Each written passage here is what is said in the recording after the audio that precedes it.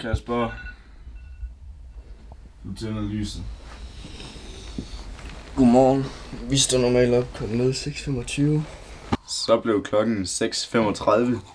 Vi vil lige børste vores tænder, og så skal vi på morgentur. Lige ud og løbe øh, små 3 km. Så er vi i gang. Vi ses på halvvejen.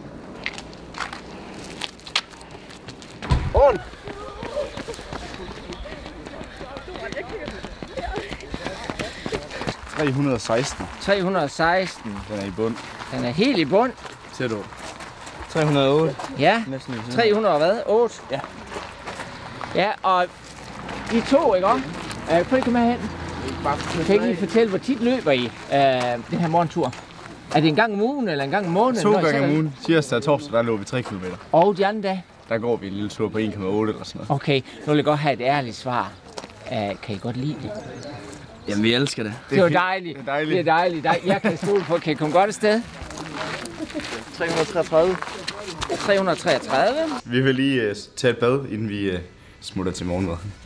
Her hos Davy spiser vi øh, mad seks gange om dagen, og nu er vi nået til første måltid, som er morgenmad, så lad os skille se, hvad de har. Jeg sad og tænkte det. Åh! Jeg synes, jeg kan ikke finde navn i dag. Godmorgen. Vi har morgensang hver eneste dag, og eleverne de er altid friske, og de elsker at synge gode danske sange.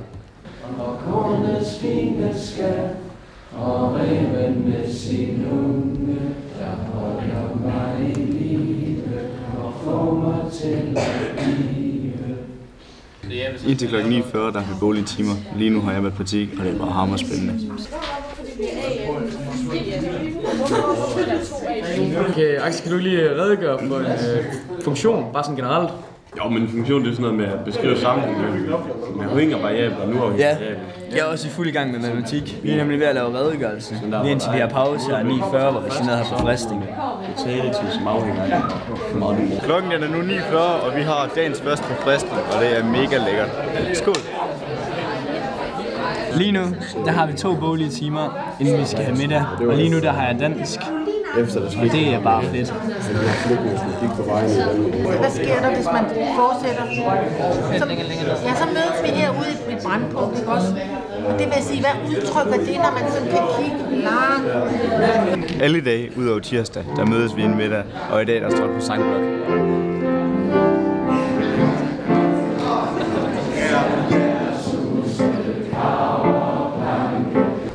Så er der middagsmad, men vi skal lige starte med at synge. Tænk at svæve som en brise over stiger gennem tjern. Der er en rødkålsalat op, og der er jo ristet hvad hedder det, solsikkerner på, og en bønnesalat med ost og noget rødløg. Værsgo!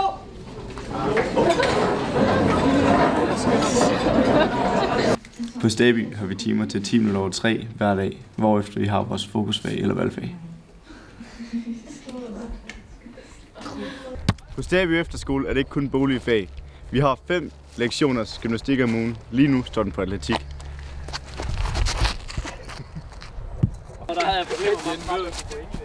Nå, nå. Ja, ja. Du ser den der sorte, ja. Men det er den sorte. Altså bokser også. Hver eftermiddag har vi tilbudsfag eller fokusfag, og der er sindssygt mange at vælge imellem. Og vi har valgt rytme og dans.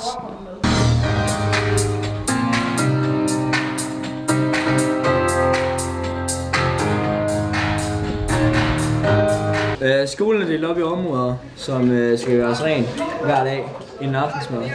Og jeg været så heldig at trække toilettet, så øh, jeg må hellere se at komme i gang.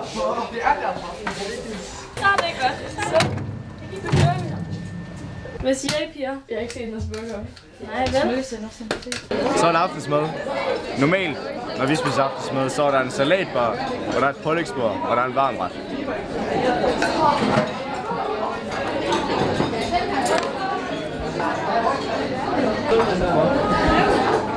Nej, hvad?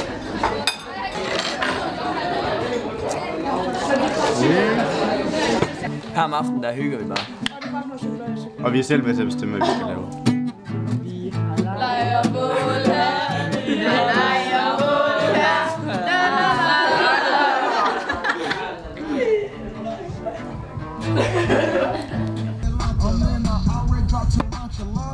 Spread your wings and I know